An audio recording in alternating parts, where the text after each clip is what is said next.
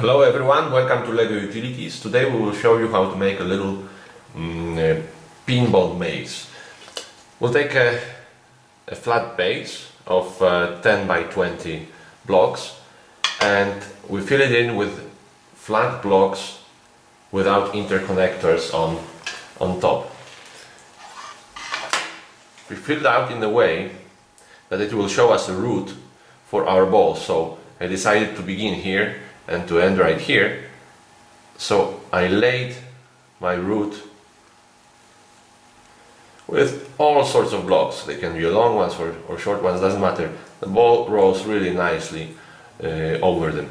If you have any remaining spaces um, that you can feel a dead-end street, just go ahead, don't leave it out.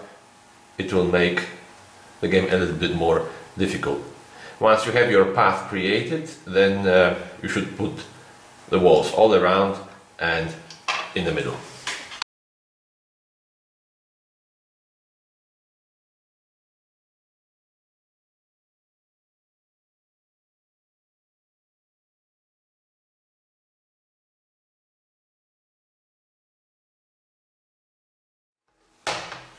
So here it is, we can actually test it with the wall, maybe let's put uh, a barrier as a starting point so that the ball will not fall out. And it's quite easy to see. It's quite easy to uh, work with it while you see this. So in order to make the thing more challenging and more fun we decided to top it and limit the visibility a little bit.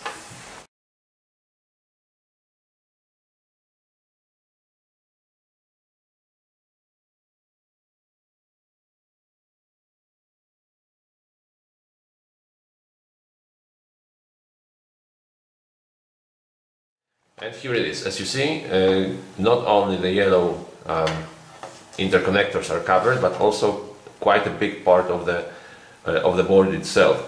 Uh, this way the game is uh, a bit more challenging and uh, you can also discover how fast your kid is able to remember the, the route. After a few trials you could probably cover the whole thing and it wouldn't be no problem for, for him or her.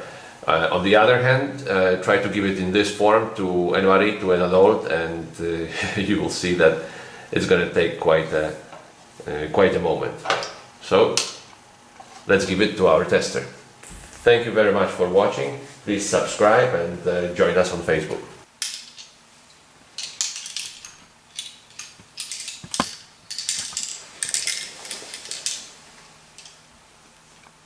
Very good.